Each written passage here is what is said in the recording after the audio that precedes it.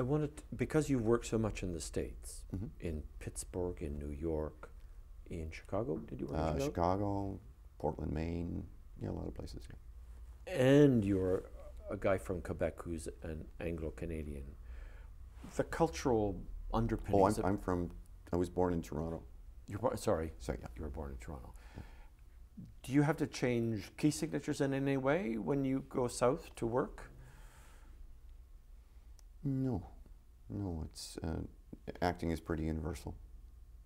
The politics from country to country affect uh, the relationships a little differently. The politics affect the relations within the theater that you work at. Yeah, I think it's we're all pretty. I think in essence, most actors that I know are pretty liberally minded, or liberal, I guess is a better word. Uh, in the states, um, they're pretty liberal too, but they're kind of constantly inundated by the politics of life there. It's uh, they're more vehement about their politics than, than we are. We all have a similar feeling about it, but they express it, uh, I guess, more frequently and more urgently. We can talk about our government situation here, and we'll, you know, you know, Right. it's bad. It's you know, no, it's not enough support down there. It's like, why isn't that happening? Why isn't that? It's so obvious. You know, like it's very clear. It's very clean. It's very present. We're kind of more lackadaisical. That's that's a difference that I notice. But as when it comes to the art, there's a universality of that on both sides of the border. Right. But there are different techniques. You know, we we we we have adopted. You know, we are the the master child of the South and across the pond. We have, you know, amelior- we've taken those into ourselves. And I think we're tending more and more towards the American way of presenting art. But it's in the state there's still a difference between a Canadian actor and an American actor. How would you define that difference? Um,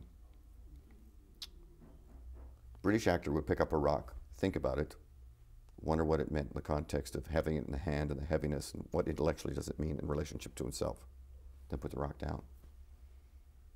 Canadian actor pick it up and say, oh, it's got a good weight. I could probably throw it over there if I wanted to. It's got nice colors too. In the States, the American actor look and say, I'm fucking mad. You know? So and that's, I hope that encapsulates some of what I think the difference is. There's a more passionate directness, I find, in the States. Right. And I, I find that exciting. There's less censorship between action and the mind. It's action first. Right. It's And visceral. that's, and that's, that's a, it's a, a rash generalization. There are, believe me, Yeah. tons of the extremes, but that's something that's always made sense to me about the difference. It's more, it's pure, it's more visceral, it's more animalistic. And it makes it more exciting because it's passionate. Does that limit or expand the, the kind of stories you can tell, the narratives that you can I think it limits it. I think we're in the in in, in a very enviable, enviable position to understand that we are between passion and thought, Right. or passion and intelligence, passion intellect. Because Nick Campbell in Vinci oh, is that Brilliant. visceral going at playing the mayor of. That's a very American energy, Vancouver. It's a very American thing. And yet Nick also has that observing and being aware of it. Absolutely. And that observing and being aware of the forms actually give it a resonance that you don't get with the, I'm just going to throw the rock, Exactly. which, however powerful and exciting that is, lacks a certain awareness of the larger frames that surround it, so to speak. I think that encapsulates what I'm, I'm talking about as far as Yeah. the American, the Canadian style being influenced by American and British. We have a, our own style, and, and Nick exemplifies it brilliantly. How did we find our style? I mean, we were born between the two parents, as you say, the South and whatever. Did we just end up with this style? Pick up the rock? Well, okay, what's the thing? What could I do with it? It's it's genetic, you know. That's it's it's genetic. It's also topographical. You know, it's we are what we have, our climate. You know, it's who we are. It's our size. Few people in a very big space.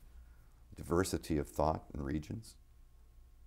I think those things add up to it, and we've been influenced by you know TV from the states since we were you know babies. So there's a lot of things that are acting on us. But um, I couldn't be specific other than that to say what it is. Hmm. Did you see that in Kim's Convenience?